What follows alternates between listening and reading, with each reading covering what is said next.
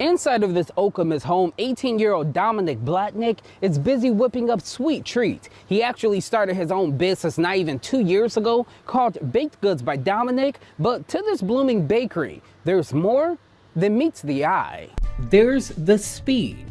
I think I timed them. It takes them maybe 35, maybe 30 to 40 seconds to do each one. And there's the patience. Just looking at his face, you can tell Dominic Blatnik has mastered concentration while baking, an impressive feature for this teen with autism. Because a lot of, a lot of those with autism have very little patience but um, you can see he's like hyper focused. Dominic also has ADHD, epilepsy, and anxiety disorder, but he hasn't let his disabilities stop him from baking. In 2020, he started his own business called Baked Goods by Dominic. Hey everybody, my name is Dominic.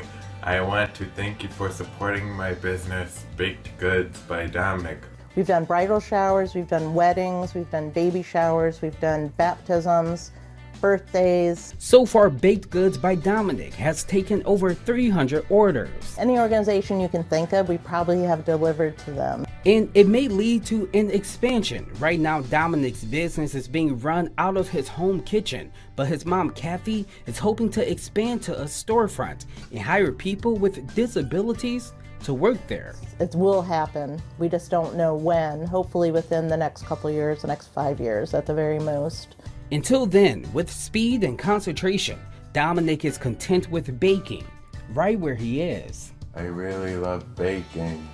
Reporting here in Okemos, Larry Wallace, Fox 47 News.